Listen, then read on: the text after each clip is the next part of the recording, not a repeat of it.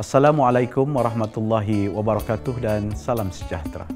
Alhamdulillah, setelah sempurna kita melalui Ramadan Al-Mubarak, kini tiba masanya untuk kita meraihkan Syawal dengan kehadiran Hari Raya Idul Fitri.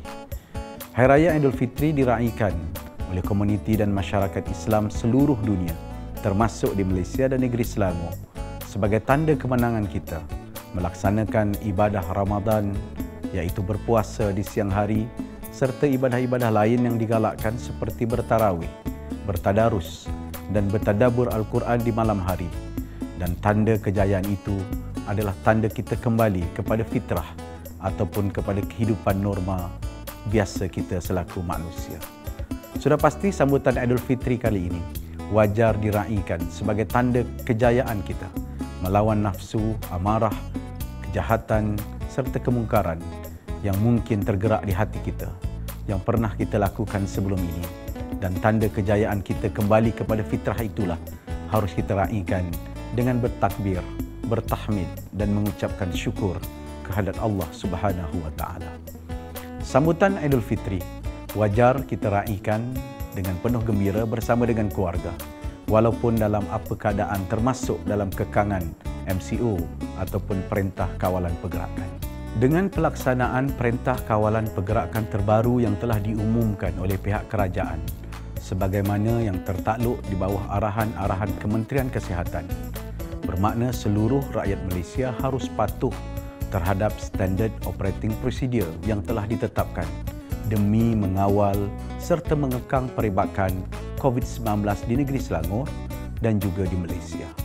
Walaupun kita menyambut Aidilfitri dalam suasana PKP, ia tidak menghalang untuk kita meraihkan dengan gembira sebagai tanda kejayaan kita menempuhi Ramadan Al-Mubarak dan semoga sambutan Idul Fitri tahun ini memberikan bekas serta semangat baru kepada kita untuk bertempur dengan COVID-19 dan kita tidak boleh kalah ataupun keletihan berdepan dengan musuh yang tidak kelihatan ini. Beberapa inisiatif telah dilaksanakan oleh pentadbiran Kerajaan Negeri Selangor sebagai usaha tambahan untuk mengekang peribahkan COVID-19 di gelombang terbaru ini. Antaranya kita lakukan saringan komuniti di 56 Dewan Undangan Negeri seluruh negeri Selangor yang telah bermula pada 8 hari bulan Mei yang lalu. Setakat ini, 8 lokasi telah dikunjungi oleh Selangor Task Force Committee dan juga pasukan Selgate serta Selcare yang kita telah menyaring sebanyak 8,585 orang dan sejumlah 388 telah didapati berpotensi positif dan mengadakan saringan kedua. Selepas ini, pada tanggal 18 hari bulan Mei, kita akan teruskan saringan di Dun Bukit Antarabangsa dan Ulu Kelang dan beberapa Dewan Undangan Negeri lain seterusnya sehingga Jun nanti kepada seluruh rakyat negeri Selangor dan Malaysia amnya.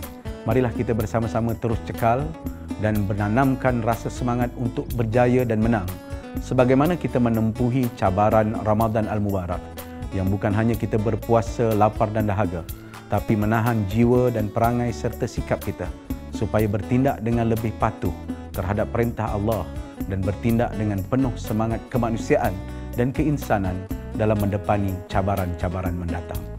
COVID-19 bukan tidak boleh kita kalahkan. Disiplin, kepatuhan serta kecekalan yang bakal menentukan kejayaan kita. Selamat menyambut Hari Raya Aidilfitri minal aidin wal faizin wal maqbulin. Kullu am wa antum bil khair. Assalamualaikum warahmatullahi wabarakatuh.